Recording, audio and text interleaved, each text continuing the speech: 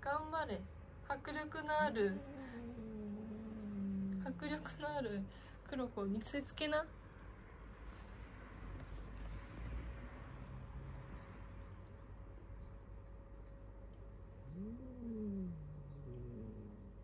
終わっちゃった黒さっきまでのあの迫力は？あ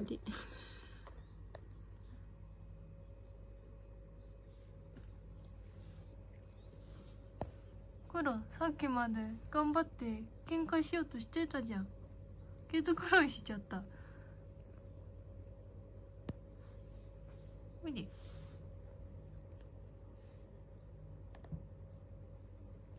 待って。こうちゃん尻尾もさもさ。なんでお前が尻尾もさもさやねんこうちゃんいつもそうなんだよね。あの他の子の喧嘩で自分が尻尾もさもさになっちゃうっていう。かわいいなこっちゃん。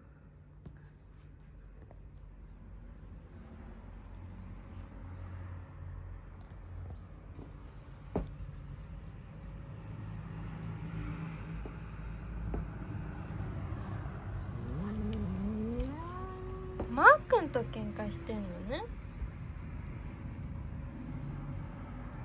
後ずさりしちゃった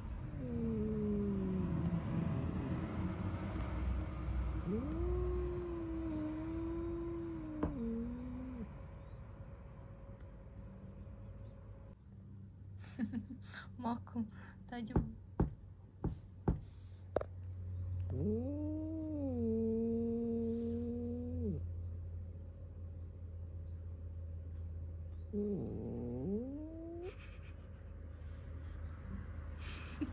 威嚇かわいい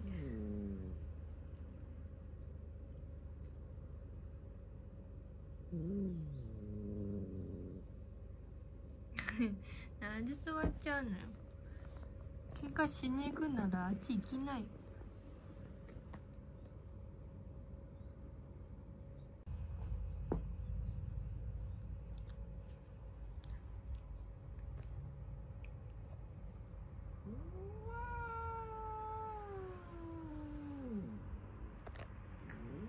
マー。君苦労と喧嘩した。なんであんな苦労怒ってんの？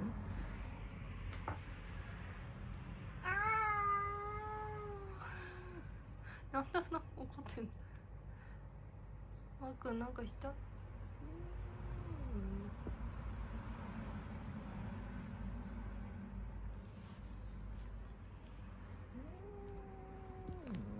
プールもどうしたん。なん。で怒ってん。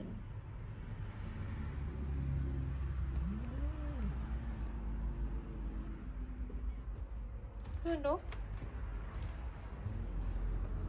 黒黒黒おいしょちょちょち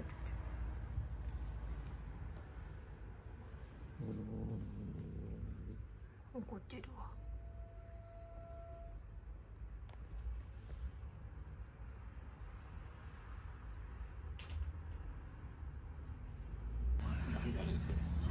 かわいいみこ。うしてもパンが食べたい。でもダメよ。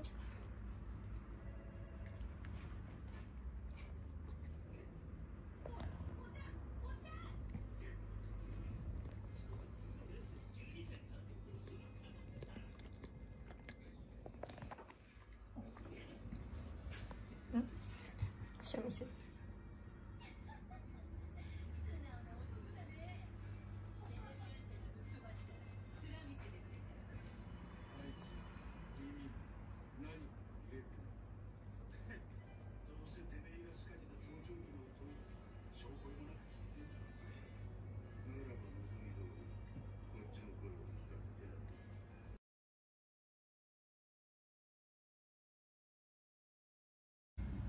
えーいつでも猫ちゃんたちに会いに行けるのですか？っていう風にいただきました。ありがとうございます。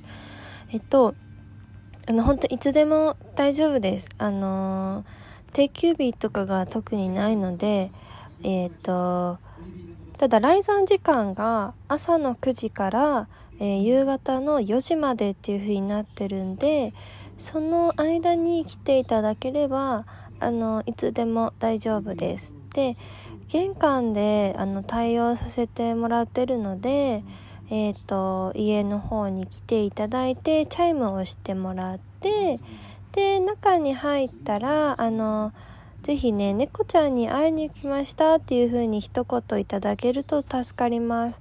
なんでかっていうとあのどの目的でね来てるのかがこちらだと分かんないんですよ御朱印だったりなのね目的で来てくれてるのかがねですのでぜひ猫ちゃんに少しでも会いたいよっていう方はねそういう風に言っていただけると嬉しいです。お願いします。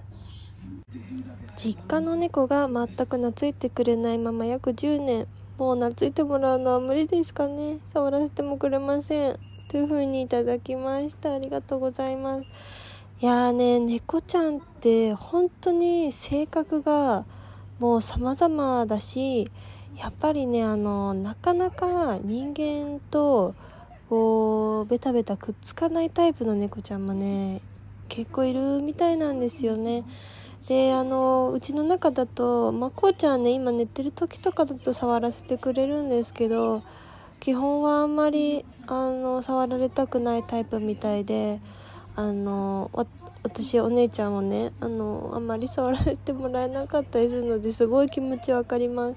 ただあの猫ちゃんもしかしたら懐いてないんじゃなくて単純にその触られるのが嫌だっていうこともあるかもしれないのでなんかそっと一緒にいてあげるといいかもしれないですね。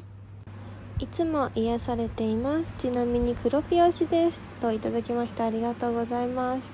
いやー本当に嬉しいですそういう風にねみんなの癒しになってると思うとこうこちらもこれからも猫ちゃんの様子をたくさんお届けするぞという風に思いますありがとうございますでねあの黒ピ推しということでちょっと黒ピを撮ってみたんですけど本当にね私もね黒に正直ほんとメロメロであの可愛いんですよこれからの成長も楽しみですぜひ一緒に見守ってくださいねお願いします変わった癖がある猫ちゃんがいたら教えてくださいっていう風にいただいたんですけどまあやっぱり私的には一番はこのミーコの尻尾をチュチュチュと吸うところじゃないかなと思います。あのですね、あの、昔からなんですよ、これ。もうミーコがちっちゃい時からずっとこうなんですけど、とにかくね、あの自分がこうゴロゴロゴロって喉鳴らしたりとか、ふみふみしたりとかっていうタイミングで、あの一緒に尻尾を吸うっていう風にね、まあお母さんのことを思い出してるんじゃないかなっていう風に思うので、ミーコにとってとても大事な時間みたいなのでね、えーこれからも続けさせてあげたいなっていうふうに思ってます。あと私的に、まああの、癖とは違うかもしれないんですけど、シロくんの水の飲み方もだいぶあの、印象的だな私いつも思ってます。あの、端っこで飲むんですよ。だから、どうしてもこう、こぼれちゃって、こぼれちゃって、あの、こうちゃんがね、水をね、飛ばしながら飲んじゃうことは皆さんよく知ってると思うんですけど、実はシロくんもこんな感じです。